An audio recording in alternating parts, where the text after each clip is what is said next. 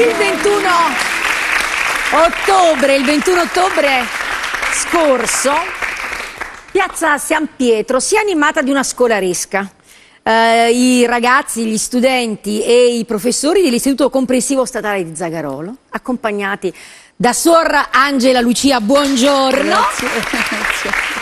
Che lo state vedendo in questo momento alle nostre spalle, sono andati dal Papa a portargli un certo dono. Ma noi la prendiamo molto larga, guardate questa foto, c'è Tommaso in primo piano, c'è Sor Angela e poi questa, questi ragazzi straordinari, festanti che abbiamo chiesto stamattina di saltare la lezione e di venire qui da noi.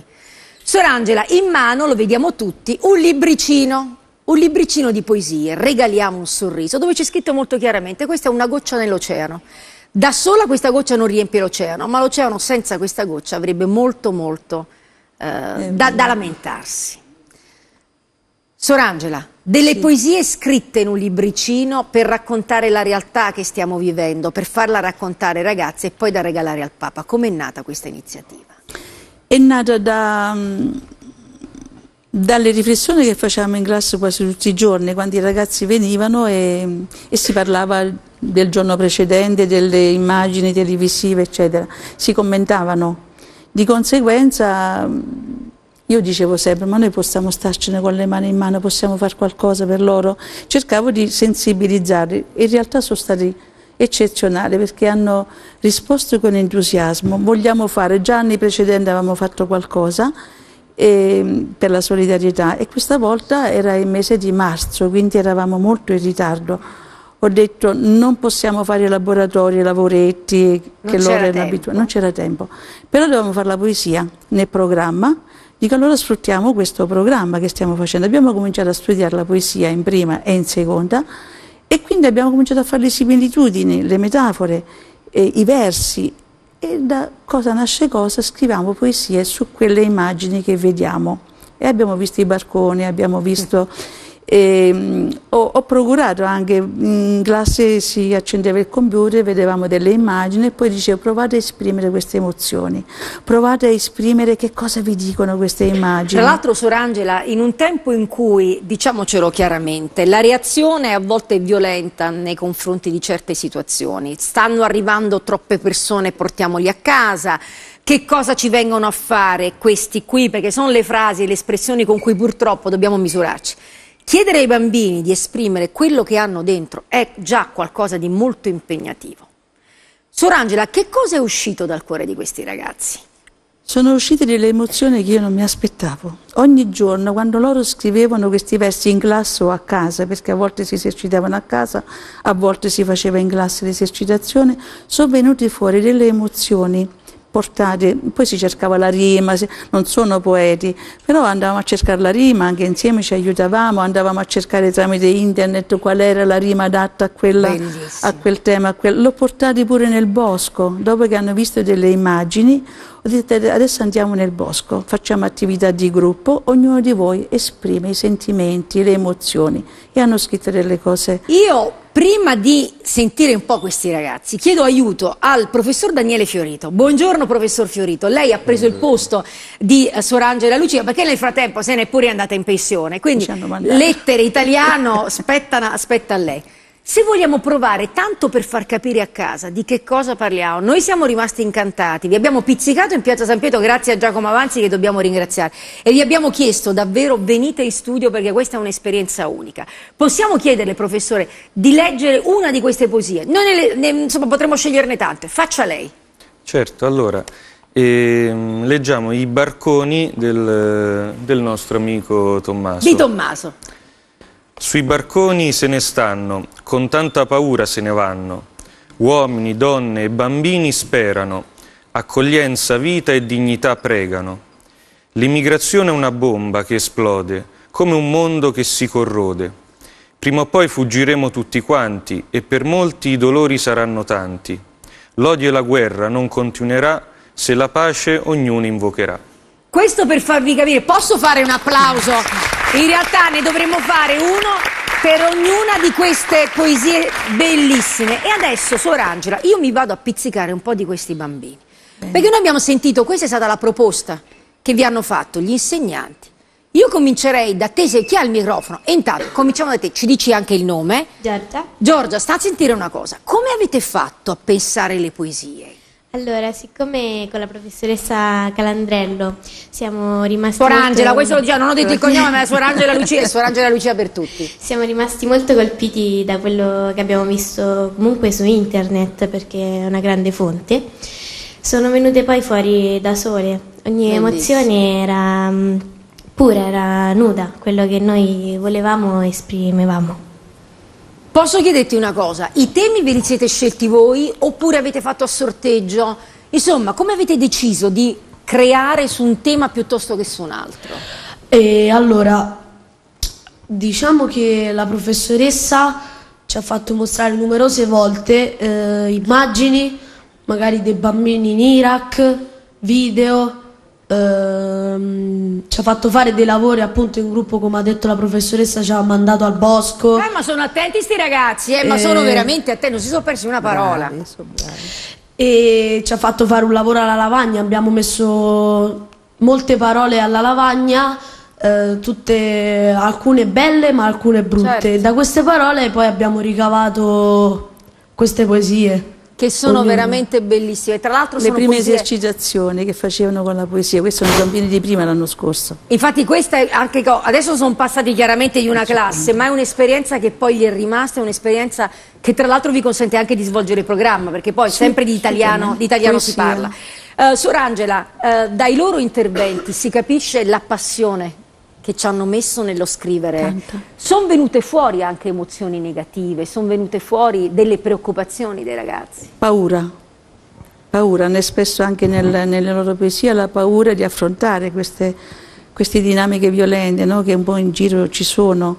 Eh, però abbiamo sostenuto queste loro paure con la, la forza della volontà, della solidarietà, dello stare insieme, del- dell'aiuto reciproco. Abbiamo pure trasmesso abbiamo, dei filmini no, da YouTube dove si vedevano come i gesti di solidarietà si moltiplicano ad onda. No? Quindi dalle parole di paura ai fatti concreti di solidarietà. Sì, sì. Chi tra questi ragazzi, posso chiedervi ragazzi, chi di voi per esempio avrebbe messo l'accento proprio sulla paura? Chi è che tra di voi avrebbe messo, eh, avrebbe posto attenzione sul fatto della paura di, di- di questi arrivi, la paura della, della guerra? Chi è? Abbiamo detto, tu sei Marco mi pare? No, Claudio. Claudio, avevi un nome stretto, perdonami. Claudio, fammi capire un pochettino perché tu hai avuto, avresti messo, tra l'altro hai fatto una poesia bellissima, ma comunque, che ci porta sui barconi proprio.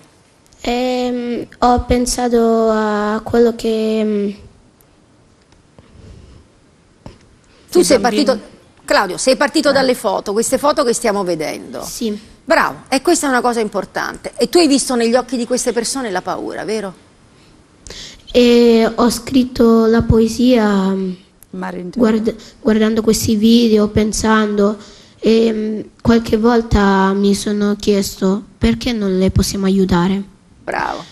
E mm, mi è venuto questo mare in tempesta eh, per la loro disperazione. Prof, vogliamo fare una cosa? Mare in tempesta, la professoressa Marta Pompili, la professoressa di arte. Mi pare che sia pagina 8, 9, non mi ricordo. Eh, dove lei- Allora, professoressa, lei è microfonata, quindi non ha bisogno del gelato, come hanno imparato i nostri ragazzi. Leggiamola. Se c'è guerra, c'è povertà e tutti fuggono per la libertà. Se la guerra arriverà, la famiglia non si salverà. La guerra è un mare in tempesta, purtroppo nessuno salvo resta. Posso chiederti una cosa? Intanto ce ne andiamo un attimo in piazza San Pietro dove ci aspetta Giacomo e poi ti devo chiedere se adesso hai meno paura. Preparati la risposta. Andiamocene in piazza San Pietro. Giacomo, storie. Io torno a Claudio. Claudio, siamo partiti dalla paura. Tu hai una storia bellissima perché qui hai trovato un papà e una mamma straordinari. Sì. E un po' di paura ce l'hai avuta pure tu. Lo possiamo dire, so che ne parli per cui non sto, non sto facendo nessun tipo di violenza a fartelo raccontare. Ma adesso come si fa a non avere paura? Te lo posso chiedere. Adesso io un po' paura ce l'ho, ma eh, sta passando ogni tanto. Perché da quello che mi raccontano i miei genitori, io mm, io ogni volta che loro mi raccontano come stanno bene questi ragazzini dopo essere, essere stati salvati da persone come loro, io mi tranquillizzo un po' di più. Altro che gesti concreti. Professoressa Pompili, voi avete un compito non facile. Uno perché dovete raccogliere l'eredità che vi ha lasciato eh, Sor Angela Lucia, che continua questa, questa, avventura straordinaria con i bambini sì, disabili un po' a qualche chilometro di distanza. Ma poi perché adesso la scuola non deve soltanto preparare i ragazzi al futuro, ma deve dare loro anche gli strumenti per poter leggere questa realtà che non è facile. Quando vi trovate a, a, chiedere, appunto, a dare conforto a questi ragazzi, quando vi dicono che hanno paura, ma voi come glielo spiegate il mondo come sta andando in questo momento? Spesso ci troviamo a, a fare da genitori, no? In classe, nell'ambiente scolastico. Proviamo a mm, valorizzare quello che hanno e a cercare di non fargli avere paura. Nello stesso tempo, come tutti i loro genitori, ci prodighiamo affinché loro possano sfruttare al meglio le loro risorse, no? le loro capacità. E su questo ci battiamo molto. E queste risorse diventano anche concrete, perché voi non contenti di scrivere poesie bellissime, non contenti di stampare a spese vostre sto libricino che è veramente, lo faccio vedere, forse ce l'abbiamo già in grafica, ma è tra l'altro davvero eh, piacevole a leggersi, questo lo dico perché anche chi non è amante della poesia qui trova ristoro. Ma avete fatto un salto ulteriore, Sor Angela, avete detto questo deve diventare uno strumento di carità e che vi siete inventati? E ci siamo inventati che mh, mm, i ragazzi sostenuti anche dai genitori, eh, perché ho chiamato loro i genitori, che hanno sostenuto moltissimo, hanno condiviso questa iniziativa, pur di aiutarla a sensibilizzare, a conquistare questi valori, perché i genitori collaborano quando noi, noi nel mondo e nella scuola ecco, li coinvolgiamo. E per cui si sono interessati, abbiamo pensato di stamparne, abbiamo provato a stamparne 50 copie per vedere come, come andava. Andavano. E loro si sono entusiasmati, hanno avuto il permesso di venderle porta a porta, Bellissimo. cioè hanno preso, ognuno prendeva 10, 15 e le andava a vendere. Vogliamo dire quanto avete raccolto, che è una cifra fortissima. Abbiamo raccolto 500, 500 euro. e mica se li sono tenuti per loro per fare altre cose. Attenzione, avete... lo facciamo dire a sì, loro. Sì, Chi sì. vuole parlare? Tu, forza, questi 500 euro ave... mi ricordi il tuo nome? Ti chiedo perdono. Tu come ti chiami? Gelato, bravo. Lui l'anno scorso uh, c'era però. Io mi chiamo Alessio. Alessio, avete preso in busta, avete preso una busta, avete messo questi soldini e avete detto che cosa? Cosa avete deciso di fare con questi soldi? Uh, di... Lui non c'era. Darli a bambini. bambini che... dell'Iraq. Oh, voi avete detto, avete identificato un paese. Sì. Anche perché Suor Angela certe realtà le conosce bene, sono avendo avuto una vita Africa, di missione africana. Però avete anche detto, mica li possiamo dare così a caso. Suor Angela, che avete fatto? Ma inizialmente io allora ho detto se raccogliamo dei soldi li mandiamo ai bambini dell'Iraq perché avevamo visto queste immagini terribili che ci avevano sconvolte. Mandiamo la nostra goccia di solidarietà. Come facciamo? Dico non lo so, io un riferimento diretto non ce l'ho. Cercheremo tramite la Caritas eh, locale. Loro, I loro visi si sono un po' rabbuiati. Io ho sospeso là e ho detto vabbè poi ci penseremo, vediamo come va. Un secondo momento, professore, ma a chi li mandiamo i soldi? Come ce li mandiamo? Li diamo al Papa, ho detto. E loro, un entusiasmo, un applauso. A quel punto ho detto qua la cosa bisogna andare fino e in certo, fondo. Bisogna, non bisogna lasciarla cadere, adesso bisogna vedere come fare esatto. ad arrivare a San Pietro. Si chiudeva intanto l'anno scolastico, loro hanno venduto queste copie, Siamo, dico se arri dobbiamo arrivare a 500 euro ragazzi, minimo, se no che portiamo al Papa effettivamente siamo arrivati a quella cifra. Perché quindi in tutto è stato a 1000 euro, con 500 avete pagato, diciamo, pagato questi debitucci che si erano stati fatti eh, per sì. poter stampare.